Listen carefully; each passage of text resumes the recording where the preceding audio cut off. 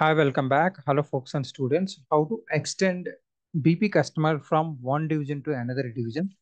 So, like, uh, let's try to see in S4 HANA. The transaction code is same as uh, what we have discussed.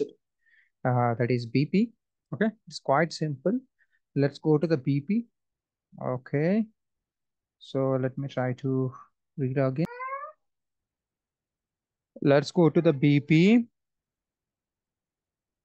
So let's try to understand existing BP. So get inside of the BP. So let's go to the, uh, this is the customer role, what I have created. Go to the change and let's go to the sales and distribution. So if you look at this, if I click this, it's already there in the sales area, RAM, DI, DC. I would like to extend to another division. It's simply what you have to do is click on create okay. Take this one. Dram okay. So uh, if you want another sales area also you can able to do like this. Let's take this distributors. So previously dd is there. I'm just doing this one. Uh, sorry dc is there. I'm just extending to this one. Okay.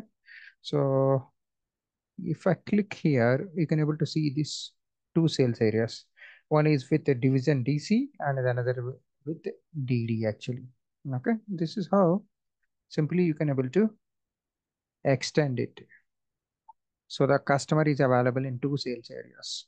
Okay, now let's go. Let me try to show you. So if it is dir and if I take, so like dt, the center. So if I take the same customer, so like uh, I need to set up OVKK. So then only it will accept. So the first, so like this one is there. I'm just copying this. So let me try to put it for DD. Okay, for both sales areas, same pricing procedure. Or else you can able to take different one also. Let's come here. So DD. So, so it's still getting the same thing. Okay, I'll go to the BP. Probably this is the issue with like, uh, let me try to check. Is it the right customer or not? So go to the partner functions. Okay, this is the same guy. So let's go down and let me try to choose the custom pricing procedure.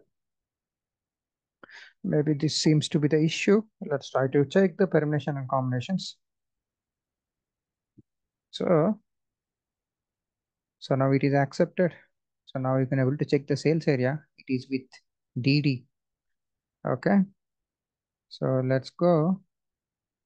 Don't give anything. Okay. So division. So don't give anything. Just give this one so that it will ask you. Now it is got extended for these two. Either you can able to choose this one or else you can able to choose DD. It's up to you. This is how we can able to extend the BP for division or sales area. It can be complete sales area also. Okay. Now it is DI is there distributors. You can able to take retailer or wholesaler how you want it. I feel that you can able to do the practice. This one, it is a simple thing. Uh, I don't uh, uh, I, I don't think you don't require any specific expertise on this. Okay. So thank you so much. Thanks for joining the session. If you really wanted to learn uh, this uh, one perfectly,